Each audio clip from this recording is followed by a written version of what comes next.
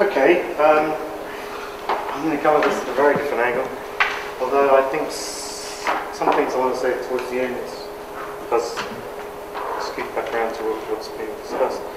Um, I really struggled with the brief because I was asked to show some images, not very many, that are um, kind of important, sort of been central to my work, and I think there's two problems over that. One is that I, there's, sorry, there's, I should preface, there's two books I'm going to refer to, shorthand to keep it short. Um, so I did a book called Image Critique and the Fall of the Berlin Wall. Um, so as the title suggests, there was a kind of you know, political image at the centre of that. It was about this idea of this notion of images of the Berlin Wall, which kind of go across all sorts of domains. Um, and then a more recent book called Image Studies, where I deliberately wanted to, to push on this idea that image studies is sort of about different image domains. So immediately when I'm asked, what image should I show, I'm, I'm kind of struggling because I'm thinking, well, I want to keep open the domains.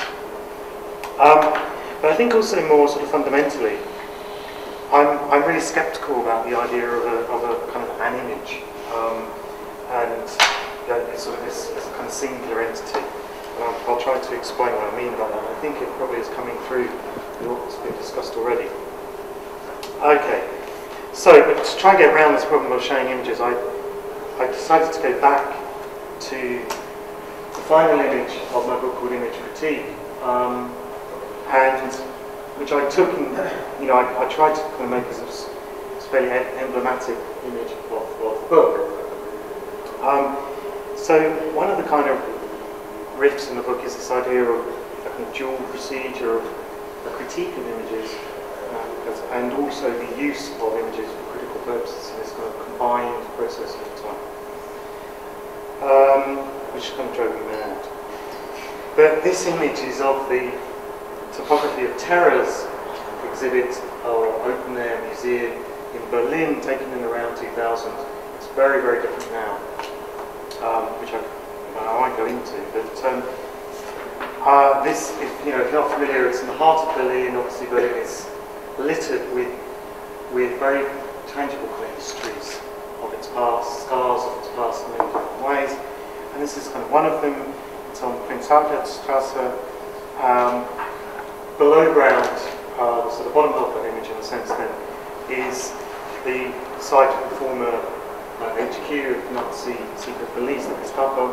Um, these were kind of cells that were for interrogation and so forth. Um, and behind Berlin Wall is, is a, there's a government building, um, and as you can see, that there's there's a strip of Berlin Wall um, running along the street level.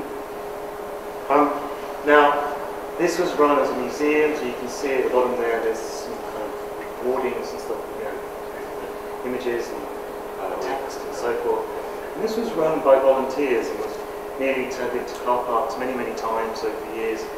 Um, but it was kept, kept as, a, as a monument to the, you know, it's called a topography of terrors to the Nazi period. Um, but the organisers very deliberately didn't put in too much explanation to this site. So it's very, very easy for a visitor to turn up and think the Berlin Wall is connected to the Gestapo. So there's you know, a, a mashing together of, of histories. But for the organisers, they wanted this to be for visitors to find the answers for themselves. Um, it's a place of documentation, not interpretations of one of their phrases. Um, so I, I, I, was always, I kind of liked this image for various reasons, and I'll maybe come back to it.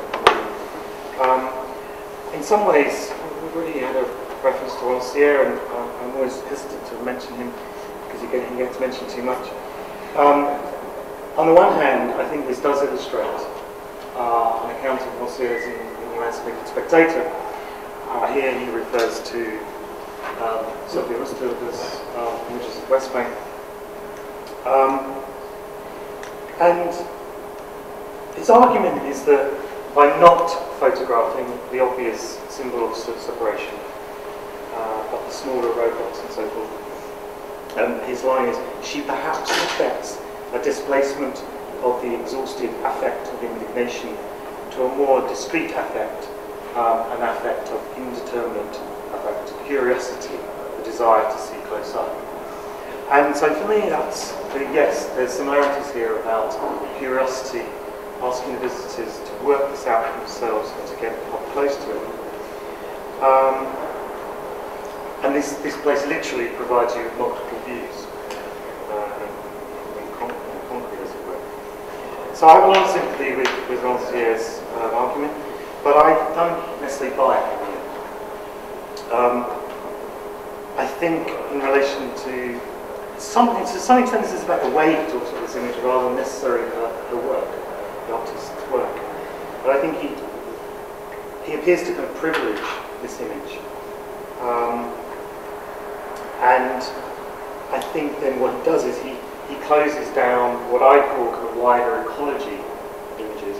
So in a sense it's not situated. Whereas what I particularly like about the topography of terrorism is this site that you have to enter into, and then it becomes a democratic space in that you are having to uh, kind of work your way through this kind of image. And so, I mean, this is, you know, I, in fact, in, in, in, my original writing, I, I wasn't working on CS, I wasn't looking at CS at all. Um, but for me, the topography of terror is against, at least the way Rancière talks about Sophie um, it suggests to me a kind of more makerly approach uh, and sort of is an ecology of images or a topography of critique. And this has led me to want to think about Susan Sontag's evocative phrase of an ecology of images. And I, I referred to it the end of that book. Uh, and, you know, she, she uses this in her, in her 1970s book on photography. So right at the end of the book, a beautiful line that uh, maybe if there's all this abundance of images, we're going to have to have an ecology of often we're going to have to kind of decide about it, make some decisions about it. Now, she then later, just in that book she produced just before she died, uh, regarding the pain of others, she really kind of laid into her own idea and said there isn't going to be this guardian, this community of guardians who are going to sit through these images. And in a sense, I agree with her, but I also felt that I wanted to rescue the ecology of images idea. Um, and so this is not necessarily the best way to rescue it, but nonetheless, I produced this for the book of studies where it's, it's a, you know, touch aimed at the students and it's trying to find a way through this, this whole set of domain, domains of images and the chapters cover painting and drawing, photography, but also scientific imaging, imaging information and so forth. I don't necessarily want to go into this diagram in, in lots of detail, but uh, what I tried to do was to go into not the image so much, but the ecology. And I played around with the idea of organism and environment, uh, where you have the system of organism or the image sits in its community and sits in a larger system, ecological system, in this case, image system. Um, and there are various kind of, you know, phrases there ecology about abundance, adaptation, distribution, succession. Uh, so there's a sense of past and future. Um, but for me, it was very much about trying to connectivity so that there isn't this singular image, but that it immediately is placed into an ecology. Um, and these are just some works with some students, some unaccredited students, where I, I, wanted to get them to try and create some ecologies of images. And again, I'm not going to go into these in detail, but the, the point for me, I suppose, is that this was trying, I, I gave, for example, an X-ray, and I gave a tube map. But I left it that. I didn't, I, I, mean, I discussed ideas about ecologies of images. The whole idea for this, this kind of exercise, this kind of classroom exercise, is to allow image to be the driving force of research rather than to impose the narratives in, uh, and, and, for example, we impose key, key search words that you might something like Google.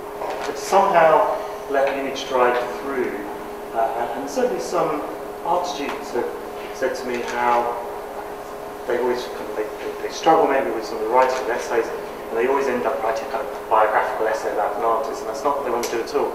And I think they felt this of freedom it to take an artwork and let it live and move through and to kind of go through this sort of process and then later go back to writing It sort of has changed their point of their initiation process. Um, Okay, come to images. So one of the things I think in this idea of kind of get away from this singularity of image and this sort of tyranny, that sort of tyranny, and, and in a way, Rancière's line about the indignation of oh, the image again, it's not working. And we've had images recently to do with Syria, and the image of a, the X-ray image of a bullet to the baby's head, uh, which made not a dent in, you know, in the, in the news. And then later we've had those other images that were produced, which had a bit more coverage, but you know, we're, we're tired of things. Um, and I think there's a, my sense is that no, it, it's not that these images aren't shocking, it's that they're in an apology. And um, we need to sort of see them in that way. Now, what I'm sort of leaning towards, I suppose, is a kind of theory of the image with a capital I, akin to the theory of text that we're kind of familiar with in kind of structures, writings, certainly in French writings.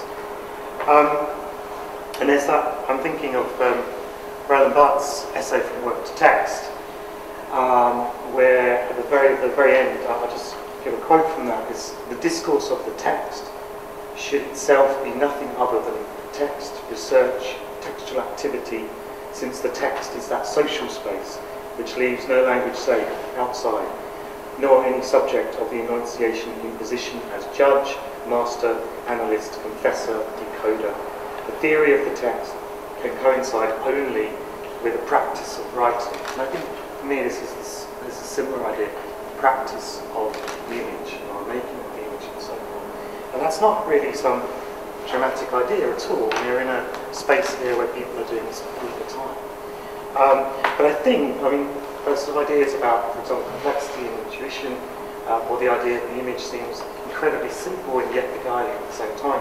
I think often that has dominated our, our way of thinking about the image in the same way that we seem to have been able to, to accept the idea of the text, the capital T. And what might it mean to think of the image with a capital I? Um, so that it's image rather than, I mean, I've always struggled it's in writing. Just, you can say a, a kind of write, you can talk about a writingness, it's hard to say imaginess, uh, or to image something it immediately certain connotations. But anyway, idea, the kind of theory of the image or of image. Um, I want to complicate what I'm saying now. I'll kind of slightly try to destabilize myself by moving to this image, to space debris. Um, and I, I, want to go further out than this to, to push it the kind of post-human elements.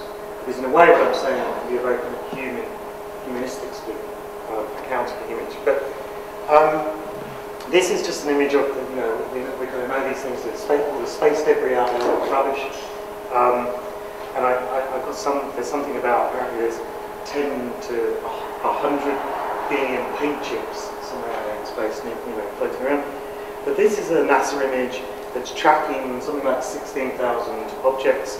And there's, you know, lots of issues here about scale. Uh, again, there's ideas here about complexity. Um, uh, uh, ideas about the kind of macro and micro readings. Uh, you might get, for example, the taxonomic city map where you can somehow see all sorts of stories taking place in the streets, but at the same time you see the large structures and this similar kind of complexity uh, and the micro of each of the dot uh, referring to objects as small as 10, 10 centimetres. And then there's issues about how many bits of information we can understand, something like 100 million bits of information. And certainly one of his suggestions is that it's not, it's also got a idea of machines imaging other machines. It's come through some extent the previous two uh, talks. Um, and uh, he had a line actually to say, as soon as machines start making images of other machines, then you might as well throw out this on top and you're And I sat there thinking, ah, that's a problem. Um, but I, I, so on one hand, I, I kind of agree, I would agree with him in a sense. But I think it also suddenly brings those images crashing back down to earth to say, yeah, actually, they are completely, they, that is a completely conceptual project. them out. They don't, they don't, didn't need some, the idea ideas because those images actually only exist for us. And that suddenly brings them back home. The responsibility comes thundering back to us about what it is we're going to do and, and how we want to understand. Um, and that sort of leads me to to the final points there. We've had a series of kind of turns in philosophy. So, you know, Richard Rorty's turns of kind of stemming from kind of medieval philosophy of things, those kind of metaphysics, of ideas, of epistemology, to uh, philosophy of language. Um, and now, you know, that's led to uh, much more kind of recent philosophies of sort of um, the, the, linguistic turn and, and say, Derrida's there's no outside of text and so forth. Um, and then more recently, the idea of a visual turn, uh, which was right about the pictorial turn and so forth. I think there's also a sense now, very much, certainly in the period I've been writing about visual culture and trying to, I was trying to deal with that idea. What we seem to be hitting on now is that, as, I don't know what to call it, but let's say a data turn, computational turn, or however we want to talk about it which I think is, I think is potentially another term. Um, and so, um, you know, I think the image is different to data, potentially. Um, I think in the pictorial turn, image, the idea of picture or image is that, you know, they very often do not do what we say they do. That's not, be one way. And so, for example, my problem with Rancière is writing about Gustave's um, images. I don't think they quite do what he says they do. He says it very well, but in the end, I think they do something else, don't you? And that seems to me, that's, that's where pictorial turns is very interesting. And I think mentioning about Paglen's work, the image, um, sending it out of space, kind of collapses that image and or brings it back home. Um, and for me brings back that question of you need to think about the image not as singularity but as a mode in which we're in, a series of network of meanings in the same way, an ecology of images, in the same way that I think we deeply, we certainly got our head around the text. Um, but then also in this sort of potential data turn, is the image important? Um, images, we've worried about them as representations, we've worried about them as, or celebrated them as presentations. Uh, we, I think we are starting to see them as communication and information. And at that point, it's where I'm wondering if we move into a, a new term. And if so, we're already in the era of the last pictures didn't need send them up on the side of a satellite that's going to last billions, billions of years. That we are potentially already in the era of the last pictures. Um, or perhaps a theory of image is very much more active than we think, or of course, you know, again, referring to a space like this, of course it's active. And um, that, and that you know again prompts the need to break down these disciplinary boundaries um, because we are more conflicted with handling the way different knowledges and hard to think but for some reason we tie them up into. So yeah, I think I'll sort of end it on there. We could be at the era of the last pictures already. Are we the ghost turn, or are we um, more adept to the image than we care to allow us?